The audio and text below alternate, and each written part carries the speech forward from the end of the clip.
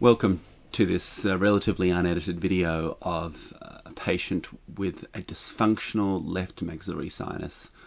This patient originally presented with a fungal ball of the maxillary sinus. It had a what was otherwise a well-performed antrostomy and the fungal ball removed, but the sinus had never fully recovered. It was collecting mucus in the floor of the sinus cavity and getting the classic sumping effect that we sometimes see in sinuses that don't regain their mucociliary clearance. So the operation starts by using a curved artery clip to compress the head of the inferior turbinate up towards the natural os, and then with the small iris scissors to release the inferior turbinate. The inferior turbinate is just placed out of the way then um, in a vertical position. A needle point diathermy now is going to be used to score out the mucosa that lies over this medial maxillary wall. The first incision, one checks for the soft palate junction, is, is almost at right angles, and this anterior incision then runs at really a 45 degree angle anteriorly. That way it comes underneath the valve um, to the nasolacrimal duct. Raising the mucosa here is very easily done off the floor first, and then the wall itself as a secondary event. Now, if one has already come through all this tissue with the needle diathermy, it should release easily, but you can see here it's not quite cut all the way through, so small irises will be used to excise it. The purpose of raising this mucosa is so that we can really cover any areas in the nose that we're going to remove or drill. And whenever we create raw areas in the nose, we know that those areas, especially when they're in airflow, will take a long time to heal. So covering raw areas is very important. Um, down kerrison can really happen anywhere, as long as some sort of hole is made. Straight through biters are then used to remove the wall going posteriorly. I almost always use a drill in these cases, so I'm not too worried about going all the way down to the bottom. I just want to remove the, the part that's easy to remove just with a straight through cut, and then a backbiter is used to come back and remove the part of the wall that's been exposed anterior to that down kerrison maneuver. You're then just left with a simple mucosal soup, and like we do in all our surgical techniques, we take that mucosal soup and we use a debrider to remove it.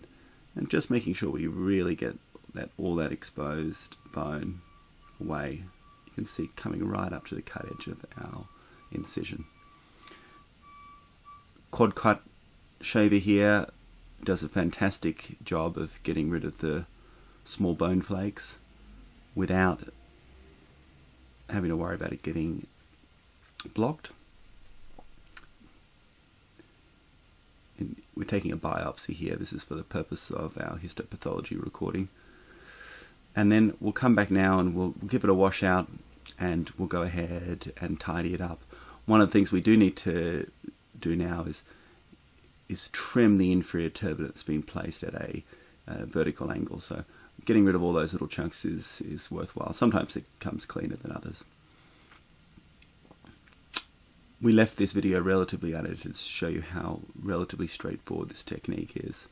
The inferior turbinate then is placed um, at right angles across the back wall and we really want to take it all off except for just the most posterior stump.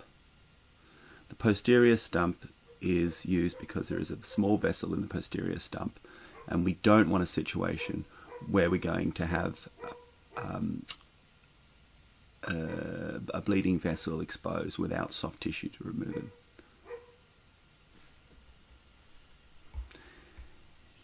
Next here we're going to use a shaver and like I said just really trim that up trim it up enough so that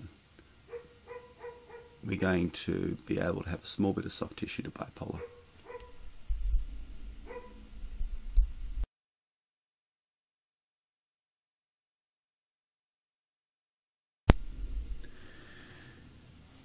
There's just a small few vessels in that area. Now, this is the important thing about maxillary sump surgery in that many of these patients have quite big maxillary sinuses and they have a big floor or the floor of the maxillary sinus comes underneath the nasal cavity itself. And so you can't just lay the flap over now. That that is not enough. There is a large area here that you'll see in a moment that has a whole lot of mucosa underneath the, what we can see now. So this is quite a fair way away from being finished.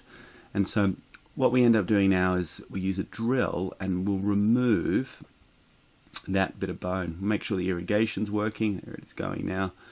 And then we'll we'll take this bone off. Now, doing this anterior limit here first is very important because if you don't remove this, you can't really get your shaft into the rest of the sinus cavity. So we do the bit anterior first. Just means that the rest of our shaft, as we advance our drill, will actually be able to move into the sinus cavity without lifting up because an anterior lip bone is pushing the shaft of the drill up. So start anteriorly and then move backwards.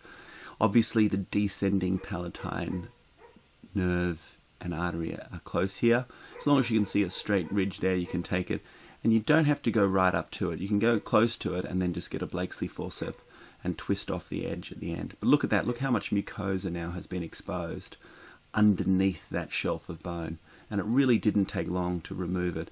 And I'll show you here in a moment. Well, this is often the most diseased part of the sinus cavity. Is this sump, and it is the very sump, the, the bottom the, of the pit, the bottom of the sinus, the most gravity-dependent area, where when mucociliary failure um, occurs and there's is an inability of mucus to clear from the sinus. This is often where it affects the sinus the most. You get sort of chronic discharge, crusting, and secretions just sitting in the floor of the maxillary sinus. So when it hangs over here, you know, into the nasal wall itself, we'll often just free it up and just get rid of it because we're going to lay our mucosa that we've raised previously over this area. So you can see there just with a ball probe raising it up, you can see it's very thickened and chunky. And there you go. And, and then maybe just come back in with a uh, curve sucker. We can tidy it up. Take it right down so we can see the floor of the sinus cavity. And you can even remove the, the mucosa from the floor and just obliterate the floor if, if it's very, very deep. But in this case, I think it's going to work very well. But look how far across towards the midline the maxillary sinus actually becomes um, compared to what we first saw. And so here now, we're going to lay our flap down. We're just making sure that at least on the on the medial edge that there's, there's not obvious large bits of mucosa left behind because when we lay our flap down we want it to sit nicely into that area. And if we're lucky we will actually get a bit of fibrosis and this pit will blunten off a little bit and the shallower it becomes the better it is actually for the patient and for the function. You know, we don't want a big sump or a big pit there, but that looks really nice. That's a situation in which uh, the mucosa is going to lay down very nicely. We'll give it a washout here, and we're getting close to the end. And you can see this whole procedure really took less than 10 minutes um, once you factor in, you know, preparation and the fact that I've, I've edited out one or two sections where we're, we're preparing the nose. Let's have a look here. There's our there's our mucosal flap. Now a lot of people ask, how do we dress this? It's actually it's not a big operation. Maybe this amount of tissue here is that we manipulate is maybe the size of a 20 cent Australian piece or a American quarter. And so there's our nice, we've got almost mucosa to mucosa apposition, and then we just place some carboxycellulose foam, in this case Nasopore. And just putting a bit of foam there, it does a couple of things. It just helps to keep the flap right. And the other thing too is it just covers some of the tissue from the drying effects of the air. You know, we shift 22,000 litres a day every day, and that covers it. Thank you.